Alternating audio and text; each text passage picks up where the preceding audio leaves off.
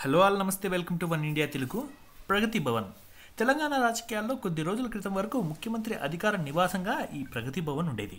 Revanth CM అయిన తర్వాత ప్రజాభవన్గా మార్చారు. నగర నడిబొడ్డున ఉన్న ఈ భవనం గతంలో వైఎస్ఆర్ సీఎంగా ఉన్న సమయంలో నివాసంగా ఉండేది. తర్వాత కొద్ది మార్పులతో కేసీఆర్ అధికారిక నివాసంగా కూడా మారింది. కానీ ఇప్పుడు రేవంత్ ఈ భవనంలో ఉండటం లేదు. రేవంత్ ఈ భవనం ఎందుకు వద్దనుకున్నారు?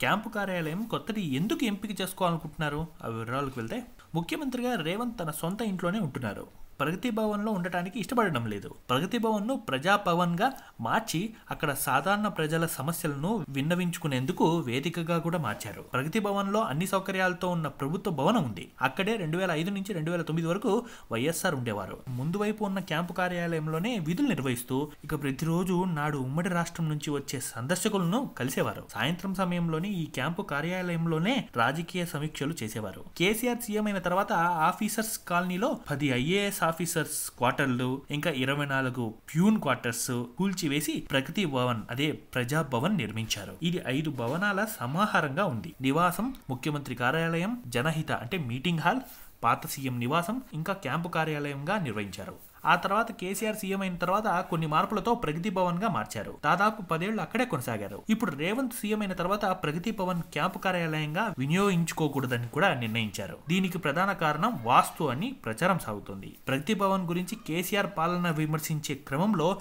రేవంత్తో సహా కాంగ్రెస్ నేతలు తీవ్ర స్థాయిలో విమర్శలు చేశారు. ప్రగతి భవన్ అంటే ప్రజల్లో వ్యతిరేక భావం ఏర్పడిందనే వాదన కూడా ఉంది. ఇక దీని కారణంగానే రేవంత్ ప్రగతి భవన్ నుంచి కాకుండా ఆయన నివాసానికి సమీపంలో ఉన్న మర్రి చెన్నారెడ్డి మానవ వనరుల అభివృద్ధి సంస్థ అందులో ఆయన క్యాంపు కార్యాలయం ఏర్పాటుకు నిర్ణయించారు. ఇక ఎంసీఆర్ హెచ్ఆర్డి ప్రాంగణంలోనే సీఎం క్యాంప్ కార్యాలయంగా మారనుంది. ప్రభుత్వం మారిన తర్వాత ప్రగతి భవన్కు ప్రజాభవన్ అని పేరు మార్చారు. మరియు దాని గేట్లు ఎల్లప్పుడూ ప్రజలకు తెరిచి ఉంటాయని రేవంత్ ప్రకటించారు. ఇప్పుడు దీనిని ఉప ముఖ్యమంత్రి మల్లు బట్టి విక్రమార్క అధికారిక నివాసంగా కేటాయించారు. ఇదే ఇప్పుడు చర్చకు కారణమవుతోంది. సచివాలయానికి రెగ్యులర్గా రావాలని నిర్ణయించిన రేవంత్ మంత్రులకు ఇదే విషయం స్పష్టం చేశారు.